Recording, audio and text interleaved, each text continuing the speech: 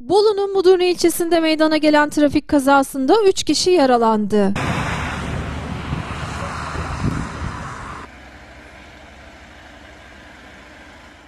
Alınan bilgiye göre Adapazarı Mudurnu Karayolu'nda seyreden Mehmet Eker yönetimindeki 54 SC 148 plakalı hafif ticari araç kar yağışı ve buzlanma nedeniyle Munduşlar Köyü civarında yoldan çıkarak takla attı.